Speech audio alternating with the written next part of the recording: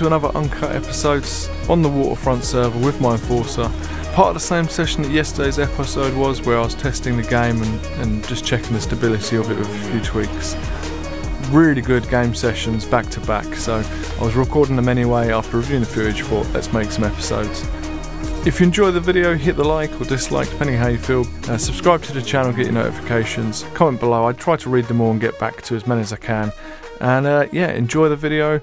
Catch you in the next one.